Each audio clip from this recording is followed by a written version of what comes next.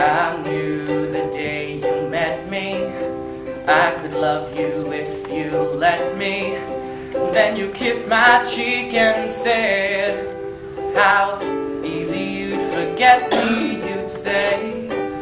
Butterflies are free And so are we.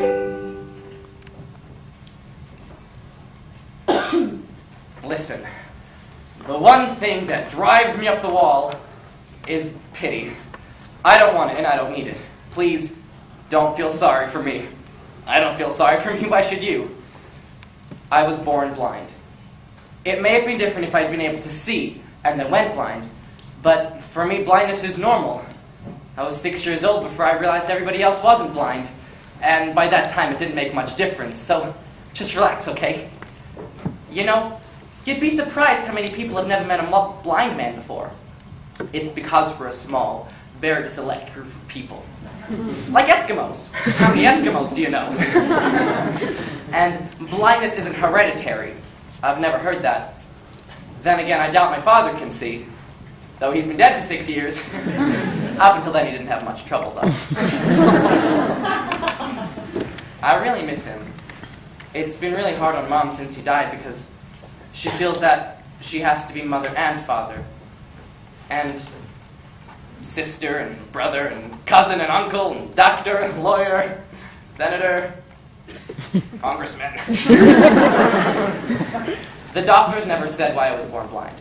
They said it was a, a, virus in the womb when my mother was pregnant, which means they don't know. Whenever they don't know something, they label it virus. I have heard, though, that women with syphilis will give birth to blind babies the whether or not my mother could have syphilis. Wait till you meet her and tell me what you think. you may have heard of her, actually. She wrote a couple of books. It was a series of children's books. Guess what they were about? A little blind kid named Little Donnie Dark. Donnie is 12 years old and was born blind, like me. Only it is no handicapped little Donnie Dark. Oh no, he can hear a bank being robbed a mile away, and he can smell the terrorists cooking up a plot to overthrow the government. he's a diligent fighter of crime and injustice, and at the end of every book, as he's been given a letter by the CIA or the FBI or whatever, he always says, There are none so blind as those who will not see. they were pretty popular. No Harry Potter, but pretty popular. Unless, unless it is you happen to be blind they didn't, they didn't exactly tell it like it is, you know what I mean? I guess the books were sort of a projection of what my mother hoped I'd be. A sightless Superman.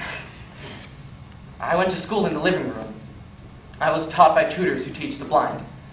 There are schools for the blind, but I didn't know that then.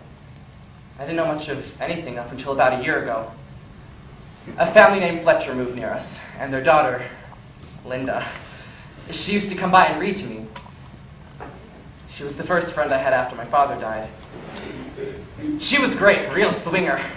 She used to take me down here and take me to parties and introduce me to people, and all of a sudden I was living and, and learning at home. Uh, I was a pet in a cage, but Linda gave me something nobody ever thought to give me confidence.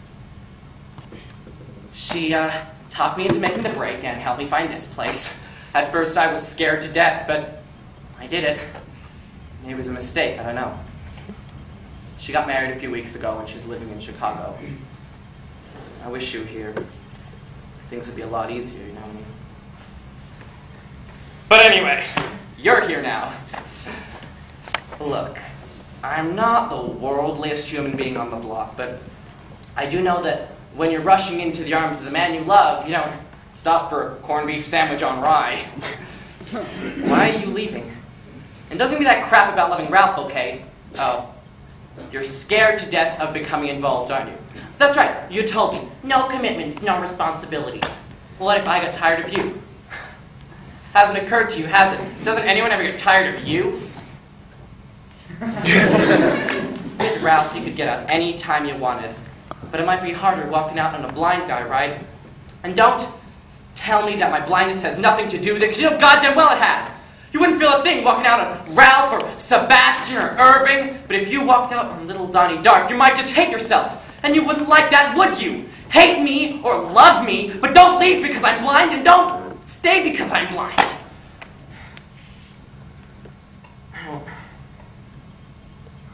I don't know who Sebastian or Irving are. Don't know. I made them up. it's just you hurt everybody else. Why do I write special treatment? I guess I'll be seeing you. I'll think about you for years to come and wonder if you ever made a commitment, if you ever got involved. And don't worry, it won't happen. Because you're emotionally retarded. Did you know that? That's why you couldn't face marriage. That's why you can't face anything permanent, anything real. You're walking out on me now because you're afraid you might fall in love with me. And you're too adolescent for that responsibility, and you're gonna stay that way.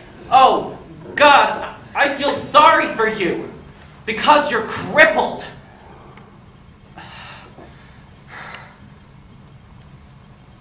I'd rather be.